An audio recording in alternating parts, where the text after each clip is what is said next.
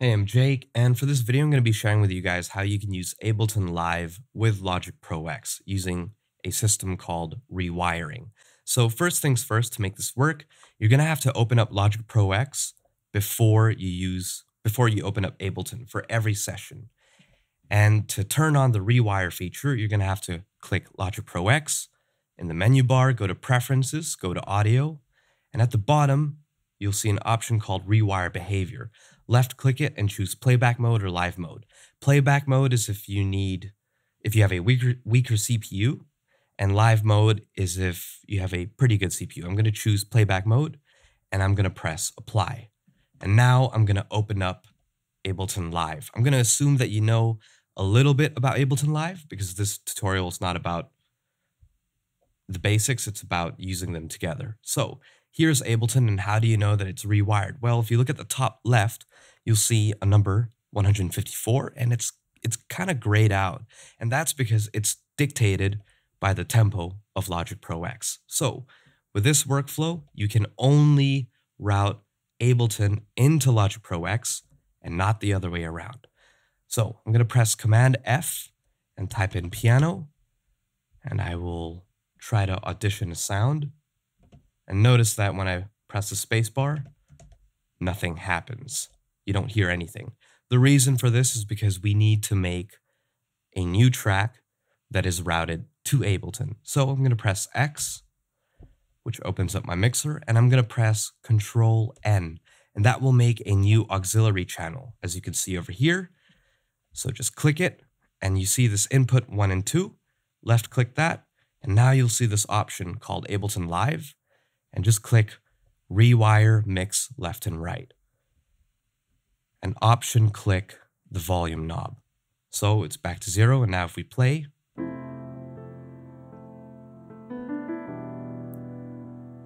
great. So let's bring in another loop. Let's bring in a drum loop.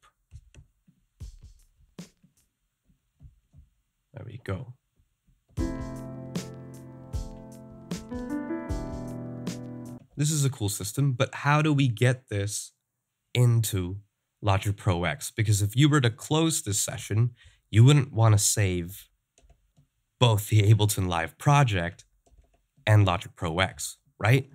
We'd want to keep this all in Logic Pro X. So press X to open up your mixer, click the auxiliary channel, and press Control T. And that will bring it to the arrangement view just like a regular auxiliary channel. So I'm going to rename this, and I'm going to say this is Ableton Live Rewire Main. And if I want to render this into Logic Pro X, I'm going to press T, and then I'm going to press the pencil tool, or P, and I'm going to just make a region based on the length of what I want to bounce. So Here's the region. I'm going to left click the region and press Control B.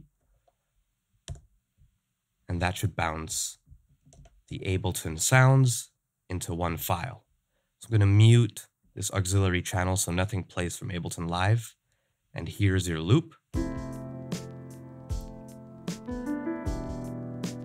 Just know that you can use effects like you would in any normal session. So there's a bit of a problem. We've rendered both tracks into Logic Pro X. What if you want to render them one by one? Well, the obvious way is to solo each sound and bounce it out, right? So let's do that again. I'm going to delete the sky. Here's our region. I'm going to solo each track and just bounce it. And then I'm going to solo the drums and bounce it. So here we have both of them separated. But depending on how in depth you want to get with Ableton, you'll want to bounce things a little bit differently. So the way to do that, I'm just going to delete these guys, is to open up your mixer and create multiple auxiliary channels. So control N multiple times. And in the input one and two, go to Ableton Live, and that's why you have several options. So you have bus three and four. And let's press bus five and six. So now I'm going to go over to Ableton Live and route them. In order to route them, you just select the track, and under the master section, you press rewire out and just make sure that it matches the auxiliary channel. So rewire out, there's another option. It says mix left and right. We're to say bus 3 and 4 for this one. Let's do the same thing again. Rewire out, bus 5 and 6. Now when we go back to Logic, you'll see that they're in different auxiliary channels. So let's highlight these two, press Ctrl T to bring them into the arrangement view. Just duplicate the regions and we can bounce things accordingly. So, why would you even want to use Ableton Live? Well, you don't have to, but there's some advantages. For example, let me just fix this routing again. Bring this back to mix left and right. You have a really good warping tool now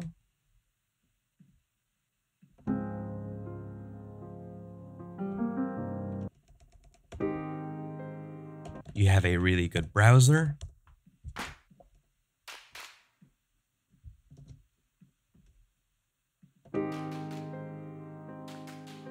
And you're able to analyze audio files based on harmony, melody, or transient. So I'm going to right click this, this piano loop, and I'm going to go and say convert harmony to, to new MIDI track. And as you can see, it's not always perfect, but here's the file.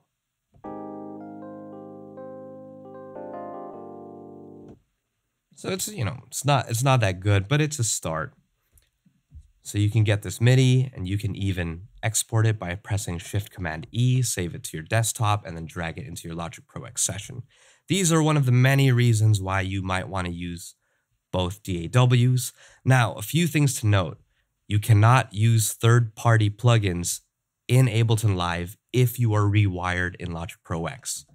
You can only use third party plugins within Logic Pro X. So if I were to try to pull up Serum, I can do it in Logic Pro X. And if I were to try to do this with Ableton, here's the Serum VST, it's not able to do it. You can use everything native though in Ableton Live with Logic Pro X in this rewire mode. So the last thing I wanted to talk about, I mentioned earlier that it was possible to render Ableton Live files into Logic Pro X. So I'm going to demonstrate that again and bounce this. And here it is. Just mute this auxiliary track.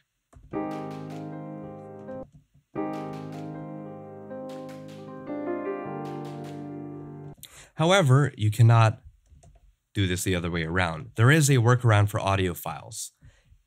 Let's say you found you wanted to bring this loop into Ableton Live. You made a loop in Logic Pro X and you want to warp it and use some of the features within Ableton Live. Well, you could there is a workaround. You can left click the audio region and press Shift Command R. That will find the audio file within this Logic Pro X project or within your desktop and just press Command C to copy it. And now if we were to delete everything in Ableton, make a new audio track and press Command V, there is your loop. So I'm going to mute this guy and play. Rewire out.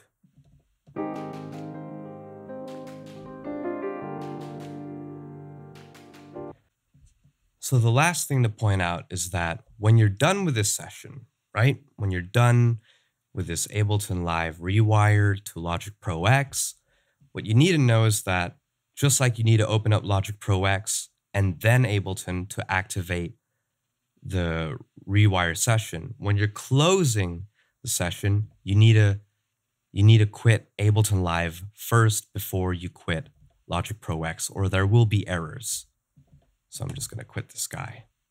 And then you can safely quit Logic Pro X and you would have rendered all your all your Ableton audio files and MIDI files into Logic Pro X. So I hope this video helped those of you who want to use two DAWs together. I found this out from Disclosure's live stream, and I hope it inspires you. Stay safe and take care.